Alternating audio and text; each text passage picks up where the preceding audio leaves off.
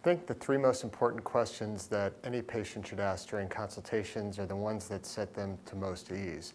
But first and foremost, they should understand what their expectations are. So a great question to ask is, well, Dr. So-and-so, do you understand what I'm looking for? What do I want? Uh, number two is what to expect from recovery.